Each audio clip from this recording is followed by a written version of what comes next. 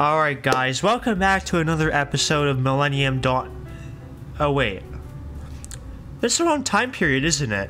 Alright, sorry about that totally unscripted mistake. Today we're playing Millennium Dawn A to Z as Austria. You know, I honestly wasn't expecting Austria to have much of any factories. So the fact that it does is honestly a, a welcome surprise, to say the least. We have six civs, but we're only using two. What the hell was our tax? 50 50% pop. What is wrong with these OS places, man? And you've got a lame generic focus tree. God damn it. Alright, first thing I'm gonna do, I, I gotta cut down these fucking tax rates, dude. I need, I need to use more of my civilian factories than I currently am, man. We have eight. We shouldn't be using two of them. We should be using like five of them. Oh, hey, thank you. Maybe people were willing to invest a lot in me. I don't know. I mean, for now they will, but I don't know if they're gonna like me in the future. Uh, if you saw my little untold, my little scripted mistake, yeah, I might be trying to form something like that today. Bro, I'm starting to wonder when the last time Putin fucking won was. Like, Jesus Christ. Hey, look, it's not the communist guy at least. Oh, thank you. Wow. This game is being very kind to me today. I don't know why. Oh, wait, we were in stagnation before?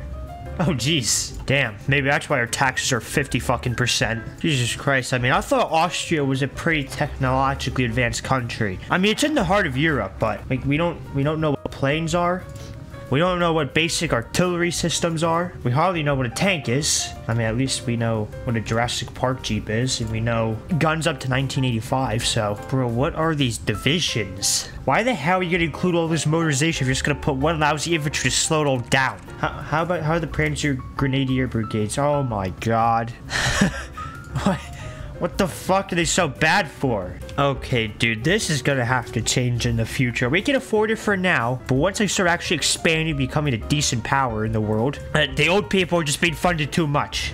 That's the only way I can put it for you guys. They need to be defunded. There we go. We wasted so much political power I could have used on other things in my country to make it great. But I, I had to put it all in corporate tax rate uh, cuts so we could get like what? An actual decent civ count? Good grief. Bro, holy fuck. 2,000 days? For it to... Come on, Bush or whoever the hell it is. Who's in charge? You've got the American economy. You could build factories way faster than that. I'm, I'm probably not even gonna be democratic by then, dude. So you might as well just cancel it while you still can. Okay, at least France knows how to build a civilian industry in a timely manner. How does it take you 1,800 days? It, don't ta it takes France, of all people, France.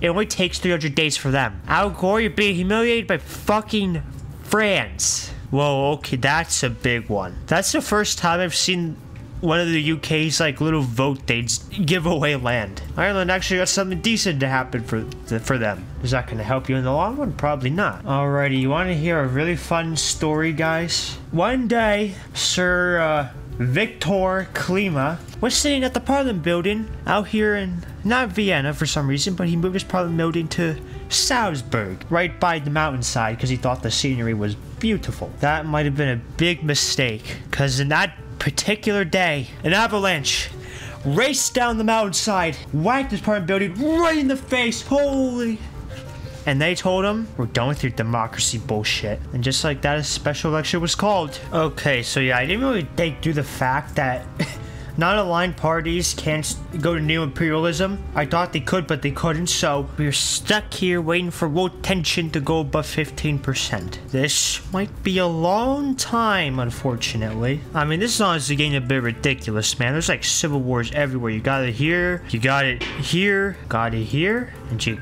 had it there. At least, at least Italy was quick with it. At least Italy could could shut it down within a couple weeks. I mean, the other guys are like stuck for months here. I mean, I guess they are role playing historically in a way, with the fact that no one knows how the hell to win. Hey, let's go. Some more tension. Woo! Yeah, baby. That's what I've been waiting for. Yeah, there's this OP decision I saw. I didn't notice it before, but there's like a good chance you can find some materials in your own land. There's 26% chance of special metal being found. Holy hell. That's actually a little wickedly overpowered, I'm not gonna lie. Whoa, another Russian war against Korea. Is it, is it just me or does this war happen every game? Did you seriously just do that? How, how stupid can you...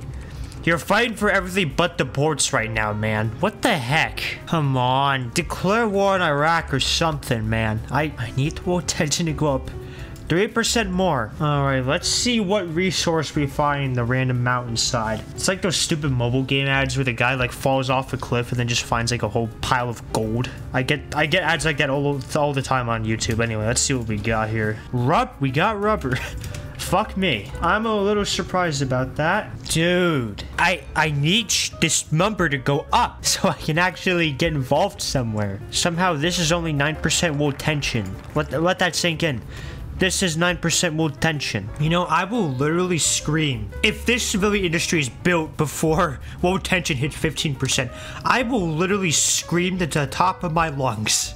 Syria's dying. Saddam Hussein's still alive. China's about to disintegrate. Like, if this was my world, I bet people would be screaming. Heart attacks everywhere. Anxiety. Oh my god. Right on cue. Right on cue. Thank you, USA. Dude, this guy looks like George Bush, except... What does this remind me of? Hold on. Now, no, his face is just really round. Like, he kind of reminds me of, like, an elf in a Disney movie. One of those, not not elf actually, one of those little dwarves in Snow White. Imagine George Bush is a fucking little dwarf. Oh god. Now for, forget the grumpy one. He's gonna look completely normal compared to the one that wants to kill Iraqians. yeah, well, that was very quick. I don't know why you didn't do it like two years ago. You had to make me like sit and suffer for, for an extra hour so. I don't, I don't know how long it's been. Alrighty. Forgot to record the notification, but Hungary's time to die has come. Now, will this succeed or will it? No, it, it should succeed. I'm not gonna build up tension for this war. Oh, God. yeah, they, uh, kind of got demolished there. Now, why would you go down there? Go up. And then you encircle, like, their entire fucking army of two divisions. I knew it would be easy, but I didn't know it would be this easy. I don't know if I want to kill your soldiers anymore. No, I don't, I don't know if I want to. I think we're just gonna take the cities and run. I'll let your men live.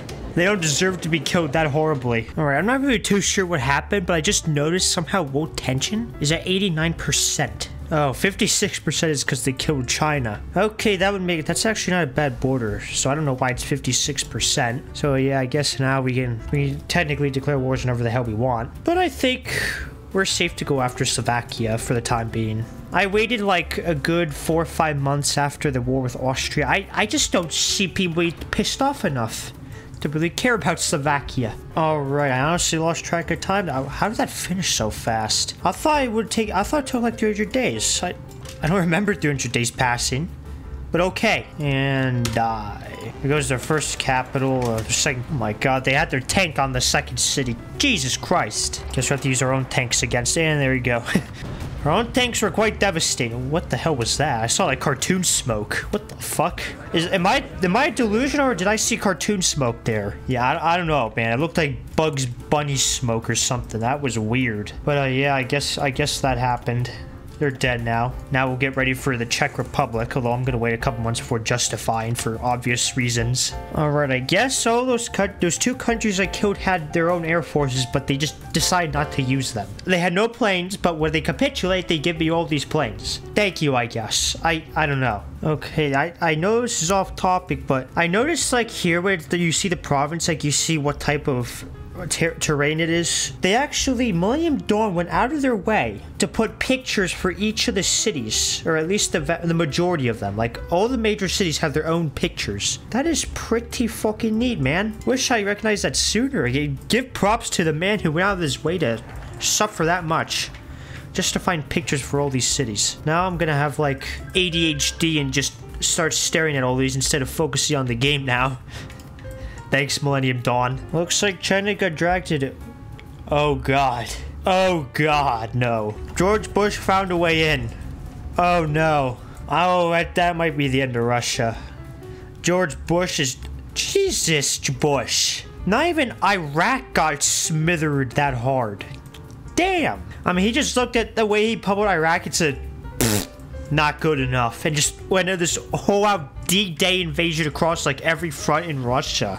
I, they're dead. You'll have to keep drop kicking them. Oh yeah, clearly I'm not the only one capitalizing off of this world war because a lot of people are going to war and I mean like minor nations, not majors. Like a lot of little countries are starting to fight each other. You got you got uh, the Bosnians, you got now Venezuela and Guyana. I've never seen that war before, so I mean that's a new one. You got Rwanda and Rally for Congolese Democracy. There's just some weird shit. Oh my god. You know what? Just because of your funky hairstyle, you're hired. Go change some people's minds. I'm sure with that ridiculous bun on the top of your head, they'll they'll believe you. Alrighty. Give me those factories. Okay, they're not they're not really defending this front. Probably they're not defending this front line at all. Be probably because they they just don't have the divisions to. But I'll take the easy win. I think this might be over before it even started. Yeah, I, okay. That wasn't really much of a competition. None of these countries have really been any competition right now. They're all just dying. And it's a little embarrassing. Like, give me a challenge, man. But yeah, we look pretty big now. I mean, I could do this in a third of the time in Vanilla Hoi 4, but we still did it, even if it took eight years. Oh no. Bunhead is captured. What are we gonna do? That was my idol, my my savior to this campaign. Dude, what the fuck became of China? They're led by the same dude. Not, not even the same portrait. The same exact dude. And the original China's still alive. what? I mean, like, I get China has warlords and shit, like warlord periods every once in a while, like the Guangxi Clique and Shangxi, that they're at least not named China, China, Republic of China, Republic of China, Socialist Republic of China. They have their own names, dude. Holy shit. Estonia. Oh my god. Estonia with the comeback, expanding towards Moscow at record speed. Alrighty. I feel like my hair went gray because for once there's actually like no stupid wars happening but we are able to declare war on uh the croatians and hopefully we win right okay good we're winning there we're winning there a little worried about the river line though though i, I think we're fine encircle that real wow you didn't even try to move Okay then. You know what the saddest thing is? I think out of all the countries I've had to fight so far, this has been the most resistance that I've had to face. None of the other countries have fought this hard. And by this hard, I mean, like, actually cover their front lines entirely. But nonetheless, our divisions are far superior to anything that a dumb Balkan nation would have. Therefore, I win, you lose, GG. We're about to get in a one uh, division-wide funnel here. This might suck. If we're lucky, we can break through before they reorg. I can already tell this is... Oh, wait. Ooh, there we go. That's what we're talking about. Go, go, go. GG. That, did that, okay. I was about to say, if I have to naval invade over here, I swear to God. Oh my God, you... what is with you people and getting captured 24-7, man? Alright, I'm pretty sure it's safe to justify Yugoslavia. I mean, they're, they're communist. I, I doubt anybody really likes them that much. Uh, if you guarantee them, any of you guys, I hope you kill yourselves. Well, um, I think Russia might be toast this time. And maybe for the last time, I don't know. 3 to... 3 to 14? 3, 3 to 14. As Russia against the world. Look at all the ways you're being invaded. And you, you just decided to delete all your divisions. Like, oh, maybe if we lay down our arms, they might not be too motivated to invade us. Do you not remember World War One, Russia? I, I haven't taken history for a good couple years now, but if my memory serves right, you tried this in World War One. Did it work? Fuck no. And uh, what do you know? It ain't working again. Oh, come on. How do the same people keep getting fucking captured? It's the same people over and over and over. Just hide. Use cover. Breathe air. Oh, look at that. Yugoslavia doesn't seem very well supplied for guys. I, I wonder if Yugoslavia is a poor-ass shithole of a country. I, I totally don't know the answer to that question. Oh, hey, look at that. War goal just in time. Declare war. Die. Now we just set up the front line and we invade. And we should... Oh, God, yeah, we're winning all right. Oh, this might not even be close. You having the last stand already? That is probably a I swear to God, if one more of you gets capped, you know, this is just, just seems like a very nice opportunity Yeah. I, I don't know if I would be very happy about that one, Yugoslavia. You might have fucked up big time there. I, I knew, I thought, I figured since Yugoslavia is at least a somewhat militaristic state, that they would at least put up somewhat of a fight, but this is just embarrassing. They're being, like, literally neutered alive. We're just, we're just gonna run right through them. Bosnia's already dead. Yugoslavia ain't gonna take much longer. I, I can tell you that right now. We we haven't lost like a single battle yet, have we? Oh my god. Can they win a battle? No, they can. Oh my god. How did you lose that? My division had no org. Like it's like every guy there had a headache and a concussion, as well as broken ribs, and you still lost. I mean, I guess I guess my only explanation is your leader looks like a farmer from Nebraska. He might be an imposter. That's why he doesn't understand the Yugoslavian war tactics. And there they go. That was ridiculously easy. Holy shit. Alright, I devised them up the most properly I could, at least. I wish I could change Yugoslavia's name to Serbia, because that's honestly what it is at right now, but fortunately I can't. Oh wait, it says they changed their name to Serbia. My wishes, they came true. Thank God. Yugoslavia was an ugly name. All right, I might I might try uh, justifying against Romania now. I don't know if it's okay. It's too early. Thankfully, I made an auto save, not an auto save. I made a save before that.